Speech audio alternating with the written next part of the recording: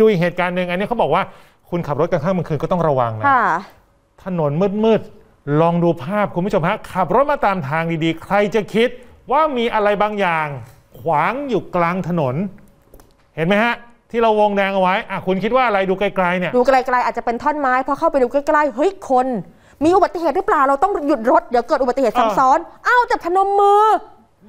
ไม่ได้บาดเจ็บอะไรเลย ไม่มีเลือดไม่มีร่องรอยการเฉียวชน นอนพนมมืออยู่กลางถนน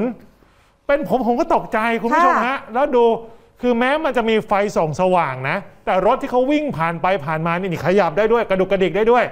จุดเกิดเหตุเนี่ยนะฮะคุณผู้ชมครับ อยู่แถวซอยคลองถนนบางใหญ่นนทบุรีเกิดขึ้น5ทุ่มของวันที่ 4 เมษาที่ผ่านมาดูเปรียบเทียบสภาพทางซ้ายมือ ตอนที่ทีมข่าวเราลงไปตอนกลางคืนเหมือนกันค่ะ มันก็มีไฟส่องสว่าง แต่มันก็จะสลัวสลัวๆหน่อย นี่ถ้าขับมาเร็วๆนี่ทับนี่แหลกเลยนะอืมดูนะฮะ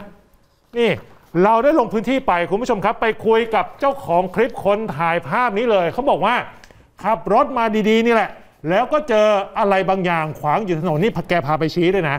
ตอนแรกคิดว่าเป็นขอนไม้หรือเปล่าเป็นท่อนไม้ไหมเพราะมันค่อนข้างมืดพอขับมาใกล้ๆเฮ้ย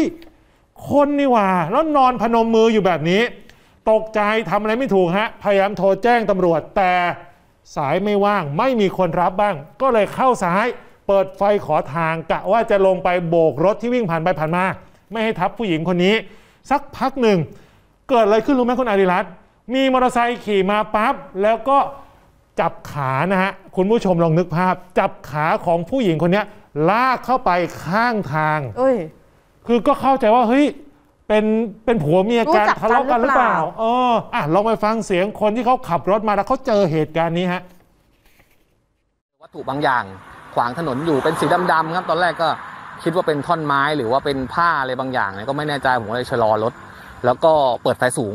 พอเปิดไฟสูงปุ๊บปรากฏว่าเป็นร่างผู้หญิงนอน